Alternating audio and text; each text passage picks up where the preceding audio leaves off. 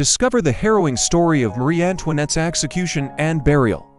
During the French Revolution, in this YouTube short, convicted of treason, the last Queen of France faced the guillotine on October 16, 1793. Her trial, conducted by the revolutionary government, symbolized the fall of the monarchy. Transported to the Place de la Révolution now Place de la Concorde, she was publicly executed. Her final words being an apology for stepping on her executioner's foot.